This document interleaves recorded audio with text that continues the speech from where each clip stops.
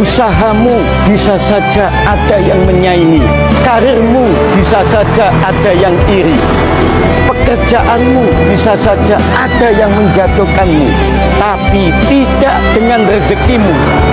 Siapa pun tidak akan bisa mengambilnya karena Allah sudah menakdirkan kepadamu.